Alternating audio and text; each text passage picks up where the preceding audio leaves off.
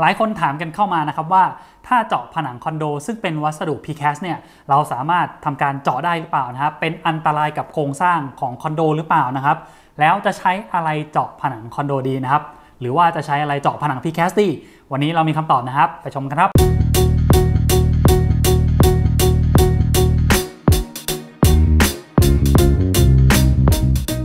พอดีนะครับผมยืมห้องลูกค้านะครับที่หลังตกแต่งเสร็จเนี่ยมาเป็นฉากนะครับสำหรับการรีวิวเจ้าตัวมากิต้าตัวนี้ในวันนี้นะครับ ก็เดี๋ยวจะมีคลิปท้ายคลิปนิดนึงนะครับว่าหน้างานที่นี่เนี่ยมันเป็นยังไงนะครับ พร้อมกันกับเจ้าตัวมากิต้าตัวนี้นะครับก่อนอื่นนะครับเรามาทำความเข้าใจกันก่อนนะครับว่าวัสดุประเภท precast เนี่ยมัน คืออะไรนะครับ วัสดุประเภท precast นะรหรือว่าผนัง precast เนี่ยมันก็คือเป็นผนังชนิดหนึ่งนะครับ ที่เขาทำสำเร็จรูปนะครับ มาจากโรงงานนะครับ แล้วก็ยกมาตั้งปั้งปั้งปั้งนะครับ เหมือนกันกับการประกอบเลโก้นะครับคล้ายๆกันเลยแบบนั้นนะ เพราะว่าผนัง precast นะครับก็จะหล่อสำเร็จมาเลยนะครับ ก็จะหล่อในส่วนของท่อร้อยสายไฟ ท่อร้อยสัญญาณนะครับปลั๊กเปิ๊กอะไรเนี่ยเขาเตรียมมาพร้อมนะครับ แล้วก็ทำเป็นผนังนะครับ มายกมาวางปั้งปั้งปั้งปั้งนะครับคล้ายๆกันกับการต่อเลโก้นะครับ สามารถพบเจอได้นะครับในในส่วนของพวกบ้านจัดสรรนะครับ โครงการที่อาจจะมีหลัก 20 หลังขึ้นไปนะครับ เพราะว่ามันทำแล้วมันก็จะคุ้มค่านะครับ หรือไม่ก็จะพบเจอแน่นอนนะครับสำหรับพวกคอนโดนะครับ เพราะว่าการที่จะทำคอนโดเนี่ยเราจะต้องใช้เวลาค่อนข้างจะเยอะนะครับในการทำนะครับ ถ้าเรามานั่งก่ออิฐทีละอันทีละอันทีละอันนะครับเป็นผนังนะครับ ก็จะใช้เวลาค่อนข้างจะนานนะครับผมเพราะฉะนั้นเนี่ยวัสดุ precast เนี่ยก็จะไปเจอในพวกบ้านจัดสรรหรือไม่ก็พวกคอนโดประมาณนี้นะครับมันจะมีแน่นอนนะครับเวลาเพื่อนๆไปเสิร์ชในพันทิปหรือ Google นะครับจะเจอคำที่ว่า ผนัง PCAST เจาะได้ไหมนะครับผมไม่เชื่อลองไปเสิร์ชดูนะครับว่าเจอจริงหรือเปล่านะครับ และมันจะเป็นความเชื่อที่ผิดๆนะครับว่าผนัง PCAST เจาะไม่ได้นะครับคำว่าเจาะไม่ได้เนี่ยผมบอกเลยนะว่ามันเจาะไม่ได้ ตรงที่ว่าคำว่าเจาะเป็นบานประตู เจาะเป็นบานหน้าต่างเนี่ยอันเนี้ยอาจจะเจาะไม่ได้นะครับ หรือว่าเจาะได้เนี่ยแต่จะไม่แนะนำให้เจาะนะเพราะว่าผนัง PCAST นะครับบางทีเขาจะดีไซน์ออกมานะครับให้เป็นผนังที่เอาไปใช้รับแรงด้วยนะครับ การที่เราไปเจาะรูกว้างขนาดใหญ่ขนาดนั้นเนี่ย มันทำไม่ได้แน่นอนนะครับ มันอาจจะทำให้บ้านพังได้นะครับ หรือว่ามันอาจจะต้องทำการเสริมโครงนู่นนี่นั่นครับ แล้วก็คำนวณใหม่นะครับ ก็ต้องใช้วิศวกรโยธานะครับ ซึ่งมีความรู้ มีความสามารถในการออกแบบในส่วนนี้นะครับ แต่ว่าถ้าเราเจาะรูนะครับ เพื่อที่จะแขวนนู่นแขวนนี่ เจาะรูเพื่อที่จะเอาไว้แขวนตู้นะครับ ตอบตรงนี้เลยครับว่าเจาะได้นะครับที่นี้นะครับต้องมาดูนะครับว่าเราจะเจาะแขวนรูปเนี่ยเราจะต้องใช้อะไรในการเจาะครับ แน่นอนครับตั้งมาอยู่ตัวนี้นะครับ วันนี้ก็เลยจะมาขอรีวิวนะครับ อุปกรณ์ที่จะเอาไปใช้เจาะพวกผนังนะครับ โดยเฉพาะ PCAS นะครับผม ก็คือสว่านนั่นเองนะครับ สว่านเนี่ยจะแบ่งเป็น 2 ประเภทหลักๆนะครับ ก็คือสว่านที่เรียกว่าสว่านไขควงนะครับ กับสว่านกระแทกนะครับ ผมสว่านไขควงเดี๋ยวยิบให้ดูก่อนนะ สว่านไขควงนะครับ ก็จะเป็นหน้าตาแบบนี้นะครับ ก็จะลักษณะหมอมือนะครับ เพื่อนๆอาจจะเคยเห็นนะครับ หรือว่าบางคนก็อาจจะมีไว้ติดบ้านอยู่แล้วนะครับ มันจะมีสัญลักษณ์นะครับที่เอาไว้สามารถเจาะกระแทกได้ด้วยนะครับสำหรับบางรุ่นนะครับแบบนี้นะจะมีสัญลักษณ์ที่เอาไว้บอกด้วยนะครับว่า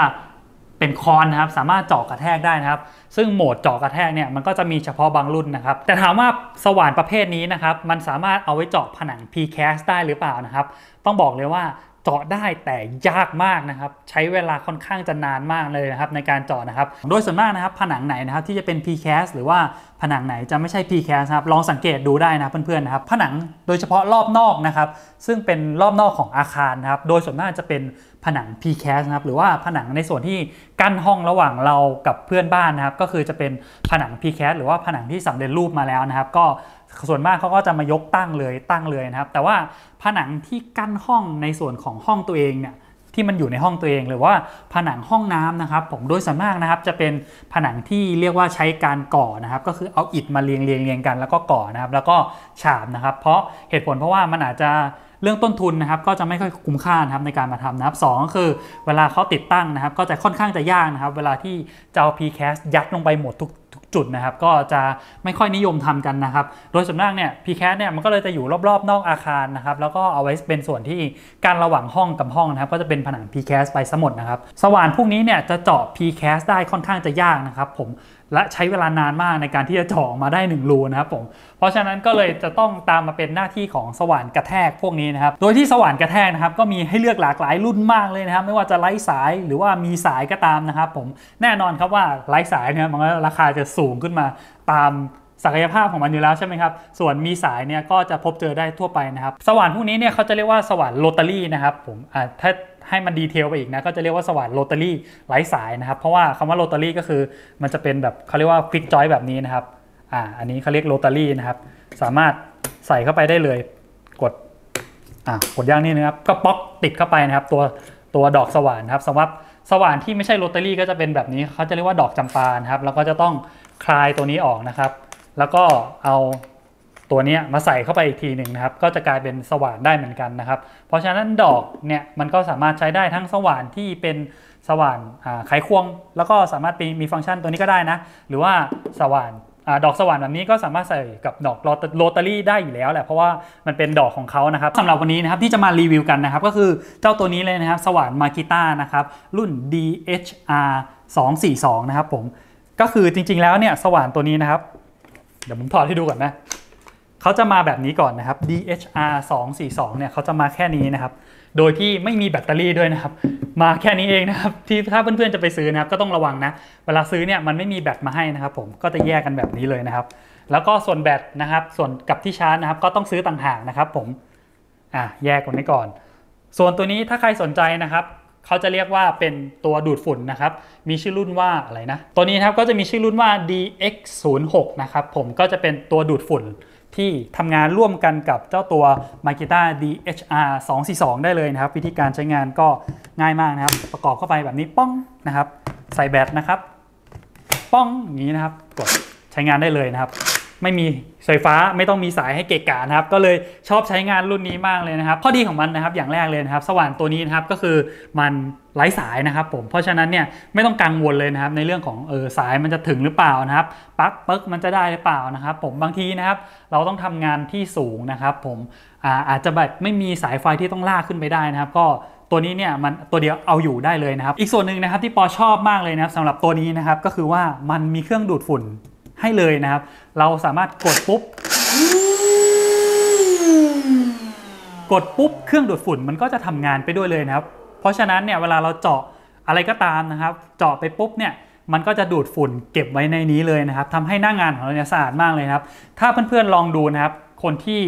เคยเจาะมาบ้างแล้ว หรือว่าใช้สว่านมาบ้างแล้วเนี่ยเวลาเจาะปูนขึ้นมาทีนึงนะครับฝุ่นเนี่ยฟุ้งนะครับกระจายลงพื้นลงนู่นนี่นั่นครับ ซึ่งหน้างานของปอเนี่ยเวลาปอไปทำงานนะครับ ก็จะเจออยู่แล้วนะครับ มันก็จะมีพวกโซฟาที่อาจจะแถมจากโครงการมาให้แล้วนะครับ ส่วนมากเนี่ยก็จะต้องคลุมไว้แน่นอนอันดับแรกนะครับ แต่ว่าถ้าฝุ่นมันเยอะขนาดนี้มันก็จะไปปนเปื้อนลงผ้ามาลงนู่นนี่นั่นเต็มไปหมดเลยนะเพราะฉะนั้นเนี่ยก็เลยตัดปัญหานะครับใช้ตัวนี้ไปเลยนะครับ ดูดฝุ่นไปด้วยเลยนะครับเจาะเสร็จดูดฝุ่นไปด้วยเลยนะครับ บอกก่อนครับว่ามันจะมีฝุ่นเล็กน้อยบ้างนะครับ ตอนที่เรา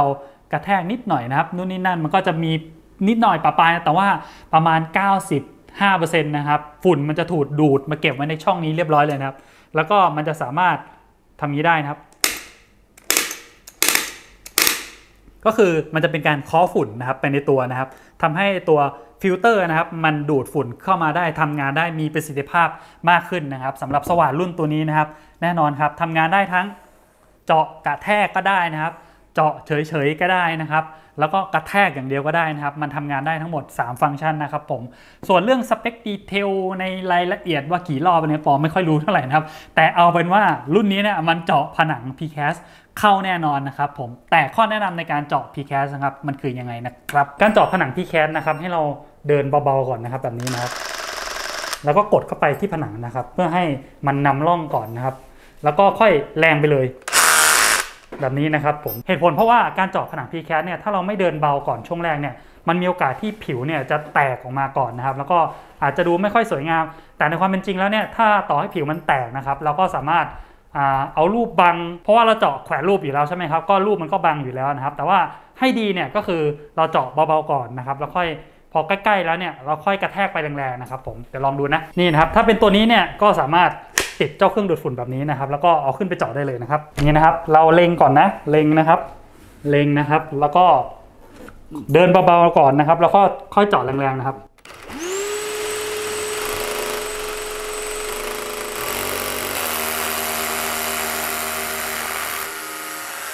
ผิวที่ได้นะครับก็จะเป็นแบบนี้นะครับ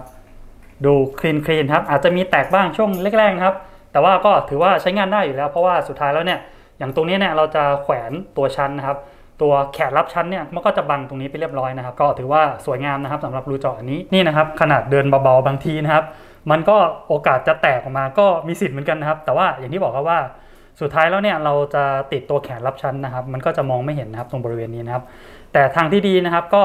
เจาะแบบเบาๆก่อนนะครับ แล้วก็ค่อยๆเจาะกระแทกแรงเข้าไปนะครับ ก็จะได้รอยที่สวยงามแบบรูข้างๆกันแบบนี้นะครับ แล้วจริงๆแล้วฟังก์ชันดูดฝุ่นเนี่ยมันสำคัญชะไหนนะครับ ผมบางคนเนี่ยอาจจะแคร์นะครับ บางคนอาจจะไม่แคร์ก็ได้นะ เพราะว่าจริงๆแล้วเนี่ยมันก็จะมีวิธีการที่ง่าย ๆ นะครับสำหรับการรองฝุ่นนะครับ ผมซึ่งก็คือการเอา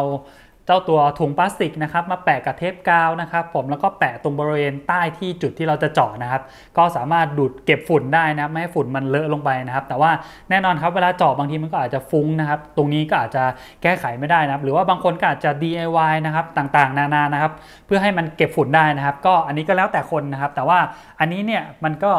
ทุ่นไปได้เลยนะครับ เราไม่จำเป็นจะต้องมาทำพวก DIY ต่างๆ นะครับ ก็ไม่ต้องลำบากนะครับ ไม่ต้องย้ายจุด ถุงนะครับเวลาจาะทีนึงอาจจะต้องย้ายจุดทีนึงนะครับเพื่อไปลองเศษฝุ่นต่างๆนะครับแต่ว่าอันนี้ก็มันเก็บฝุ่นในตัวนะครับ ก็คือเป็นข้อดีของเขาอยู่แล้วนะครับสำหรับใครที่เป็นสาวกมากิต้าอยู่แล้วนะครับ จะทราบดีนะว่าแบตเตอรี่ตัวนี้นะครับ มันสามารถเอาไปใช้ร่วมกันกับอุปกรณ์อื่นของมากิต้าได้นะครับ ถ้าเป็นซีรีส์นี้นะครับหรือว่าซีรีส์ที่เรียกว่า LXT นะครับ จะสามารถหาซื้อได้นะครับในอินเทอร์เน็ตนะครับ ผมมันจะขายเฉพาะ เป็นตัวเครื่องเปล่านะครับผมตัวเครื่องเปล่าเนี่ยก็คือจะเป็นสว่านเครื่องเปล่า สว่านกระแทกเครื่องเปล่านะครับ ไม่มีแบตรวมมาด้วยนะครับ ซึ่งสามารถใช้แบตตัวนี้เนี่ยร่วมกันกับอุปกรณ์ทุกชนิดในซีรีส์ LXT ได้เลยนะครับผมปอก็เลยชอบมากนะครับเพราะฉะนั้นเนี่ยปอจะซื้อแบตแค่ 2 ลูกนะครับ เอาไว้สำรองลูกหนึ่งนะครับเผื่อหมดกลางอากาศนะครับ แล้วก็ซื้อพวกอุปกรณ์นะครับที่มีหลากหลายของมากิต้านะครับเอามาใช้นะครับผมแต่ว่าสว่านตัวนี้นะครับสังเกตนะยังเป็นสีเหลืองอยู่นะครับเพราะว่ามันเป็น ยี่ห้อดีวอลนะครับซึ่งปอใช้มานานมากแล้ว แล้วก็มันยังโอเคอยู่นะครับปอก็เลยไม่ได้ใช้สว่านของมากิต้าให้มันเป็นเซตเดียวกันนะ เพราะว่ามันก็เสียดายเนาะเรายังใช้ได้อยู่นะครับ แต่ว่าเอเจนซี่คนไหนนะครับที่ดูอยู่นะครับของมากิต้านะครับออยากจะให้มันเป็นสีเขียวหมดเลยทั้งเซตนะครับ ก็ติดต่อกันมาได้นะครับผม อันนี้จริงคือตอนนี้เนี่ยมันไม่ได้มีสปอนเซอร์นะครับ แต่ว่าเฮ้ยเรารู้สึกว่าเราชอบสว่านตัวนี้มากจริงๆนะครับ ก็เลยอยากจะมารีวิวให้กับเพื่อนๆนะครับ ทีนี้พูดข้อดีกันมาเยอะแล้วนะครับ ข้อเสียของมันคืออะไรนะครับมามันต้องมีข้อเสียบ้างแหละนะครับสำหรับสว่านมากิต้าตัวนี้นะครับ แล้วก็ถ้าใครอยากจัดชุดเซตแบบนี้เลยนะครับ ตัวนี้เนี่ยมันค่อนข้างจะหนักมากเลยนะครับ การที่เราจะถือมือเดียวอย่างนี้เนี่ยสั่นนะครับ สั่นนะครับสำหรับผมที่เป็นผู้ชายนะครับยังสั่นเลยนะครับ เพราะฉะนั้นมันจะต้องใช้ 2 มือ ใช้ 2 มือแล้วก็ยังหนักอยู่นะครับผมอะบอกเลยตรงๆนะครับหนักมากจริงๆนะครับมันไม่เบาเลยครับไม่เคยชั่งนะว่ามันกี่กิโล แต่ว่าจากที่จับดูแล้วเนี่ยน่าจะ 5 กิโลอย่างต่ำนะครับ มันหนักจริงๆนะมันเหมือนกับยกดัมเบลขึ้นมาเลยนะครับ การที่ยกเนี้ยแล้วถ้าต้องเจาะแบบประมาณ 10รู20รูติดกันนะครับบอกเลยนะครับว่า กามขึ้นได้เลยนะครับสำหรับตัวนี้นะครับ ถ้าเราอยากจะให้มันคลีนนะครับแบบติดเครื่องดูดฝุ่นไปด้วยเนี่ยแน่นอนครับว่ามันก็จะต้องหนักเป็นธรรมดานะครับ อันนี้อาจจะต้องแลกมาด้วยนิดนะแต่ว่าปอโอเคนะครับสำหรับส่วนนี้นะครับปอชอบนะครับก็เลยใช้เซตนี้นะครับสำหรับข้อเสียอีกข้อหนึ่งมันก็ไม่ใช่ข้อเสียซะทีเดียวนะครับ เพราะว่าปอจะพูดถึงเรื่องราคานะครับสำหรับราคาของเครื่องนี้เนี่ยมันค่อนข้างจะแรงนิดนึงนะครับผมใครที่อยากจะซื้อชุดแบบนี้นะครับ ก็อาจจะต้องกำเงินไว้สักประมาณสัก 17,000-18,000 บาทนะครับ ก็จะสามารถได้เซตนี้มานะครับ ก็ถือว่าเป็นราคาที่ค่อนข้างจะรุนแรงพอสมควรนะครับ เมื่อเทียบกันกับสว่านโรตารี่ทั่วไปในท้องตลาดนะครับ ซึ่งอาจจะขายอยู่ที่เริ่มต้นประมาณสัก 3,000 บาทนะครับ ก็เป็นสว่านโรตารี่ได้แล้วนะครับ สามารถเจาะผนังที่เป็นผนัง PCAS ได้แล้วนะครับ แต่ว่าถ้าอยากจะได้เก็บฝุ่นด้วย อยากจะได้ไร้สายด้วยนะครับ ก็ อาจจะต้องมีราคาที่จะต้องจ่ายตามกันมาแน่นอนนะครับผมสำหรับตัวนี้ก็ถือว่าประมาณนี้นะครับ การรีวิวตัวมากิต้านะครับสำหรับใครนะครับที่สนใจเจ้าตัวมากิต้าตัวนี้นะครับ เดี๋ยวปอจะทิ้งลิงก์ไว้ให้นะครับสำหรับร้านที่ปอซื้อไว้นะครับ ก็ไปลองกดหรือว่าไปลองติดตามกันได้นะครับ ก็ไม่ได้สปอนเซอร์ใดๆนะ ก็ถือว่ามันเป็นของดีที่แบบต้องเอามารีวิวนะครับ ก็ชอบนะครับสำหรับใครที่อยากจะติดตามนะครับของดีรีวิวใน EP ถัดไปนะครับ ว่าจะเป็นอะไรนะครับที่ปอจะเอามารีวิวนะครับ เดี๋ยวก็ไปชมกันได้นะครับ ฝากกด subscribe นะครับ กดติดตามนะครับ แล้วถ้าชอบคลิปนี้นะครับ ก็ช่วยกดไลค์ให้ด้วยนะครับ ขอบคุณมากนะครับที่ติดตามช่อง p o w e r t นะครับ ลาไปก่อนนะครับ สวัสดีครับ บ๊ายบาย